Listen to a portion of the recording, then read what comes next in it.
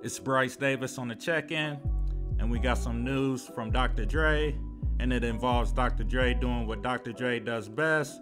He recently told Busta Rhymes that he's recorded hundreds of songs during the pandemic, but of course, we haven't heard a single one of them, except maybe the records that involve Grand Theft Auto. Other than that, we'll probably never hear them. Hopefully, we do.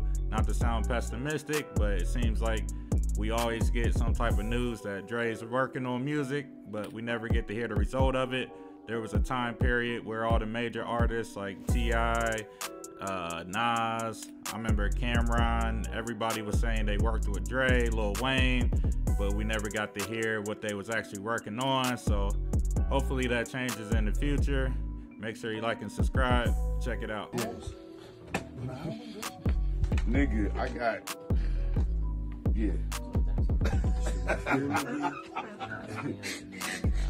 247 songs during the pandemic.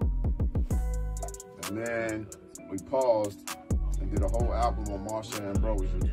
Yeah, and by the way, that shit is phenomenal.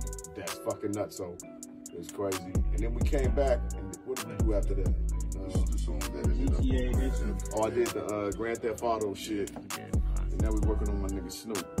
And, you know, we two days in right now. We got, what, six, album done. like six bangles.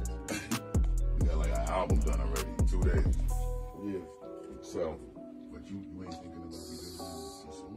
I don't know. I don't, I don't Damn. know. I'm gonna finish this shit and then, um, then start busting rhymes. see.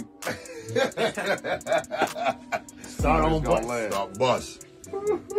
that shit